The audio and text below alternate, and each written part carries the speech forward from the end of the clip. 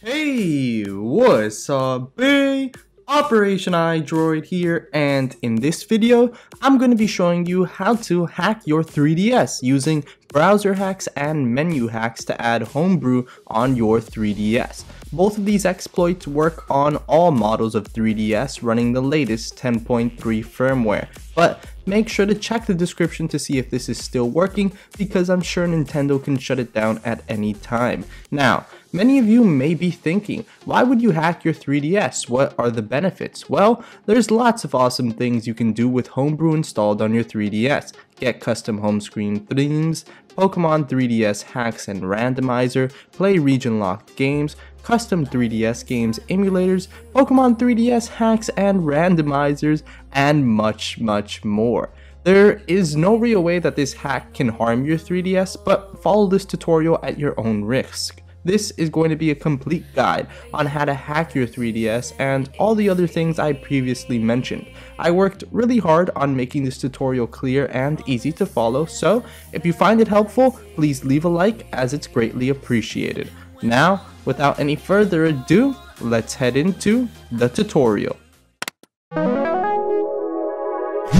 Alright, homebrewing your 3DS is very simple and can be done on a Windows or Macintosh computer. As you can see, I am using a Macintosh computer, but the process is the same with a Windows computer. To begin, take your SD card from your 3DS and put it into your computer. Then head to your favorite web browser and paste in the URL smea's GitHub page which is linked in the description below. Once you get to this page, go ahead and download the Homebrew Starter Kit which will be a zip file so you'll have to go ahead and extract it and get the starter folder. Once you have the starter folder, go ahead and open it and drag the files inside the starter folder into your SD card.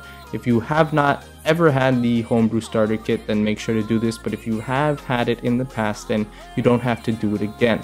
Now once you have the homebrew starter kit in your SD card we're going to go back into our web browser and paste in the URL the link for menuhax. Now you're going to get to a forum post here and you're going to click here to download menuhax. Once you do that, it's going to be a zip file again. Extract that zip file, which will give you a 3DS folder. Open the 3DS folder, then open the 3DS folder inside your SD card and drag the menuhax manager into your 3DS folder inside your SD card.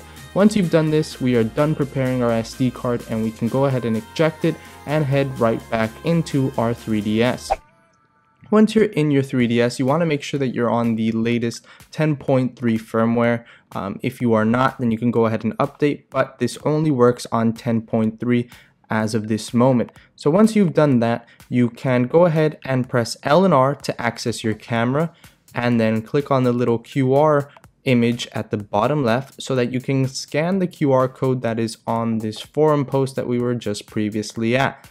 Now, once you do this, it'll give you a website and head straight into your web browser. However, you can manually do this um, by following the links in the description below and putting that into your 3DS web browser, but that's a lot more difficult and I feel like doing it just as I did on screen now with the QR code is much better because it'll automatically take you to the web page you need to be at and launch Homebrew for you just as you see now. This can take about 20 to 30 seconds as you're watching now. However, You'll know it worked because your screen will go crazy and directly send you to the Homebrew launcher. Now, this process can be a little tedious, so that's why we decided to get menuhax for a better Homebrew exploit on 10.3.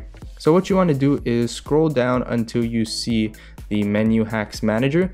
Go ahead and click on that and then hit A to install and it'll begin to install the menuhax manager on your 3ds what this will allow you to do is each time you turn on your 3ds and hold the l button it'll automatically take you to homebrew which in my opinion is much easier than scanning this qr code every time you want to use homebrew. So once it's done press a and then press b and start to exit the home menu manager.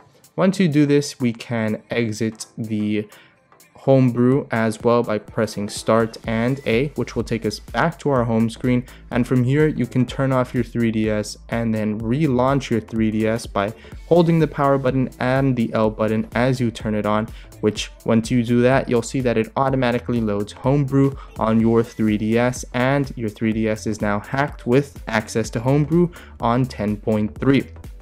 With that being said, like I mentioned at the start of the video, there's tons of awesome things that you can do with Homebrew, like getting emulators, custom games for the 3DS, um, themes, and all of that good stuff. So if you'd like to learn how to do that, I've already made a video on that, so you can follow the link in the description below, or you can click on the screen now as well as I also have guides on how to randomize your Pokemon Omega Ruby, Alpha Sapphire, X and Y. So if you're interested in that, same deal, follow the link in the description below or click on the card on screen now. As well as if you'd like to generate Pokemon into your X and Y or ORAS, you can watch my PKHeX tutorial by following the link in the description below or clicking on the card. Everything you need to know about Homebrew is in the description. You are now homebrewed, so what you do with it is up to you and I hope you guys enjoy it.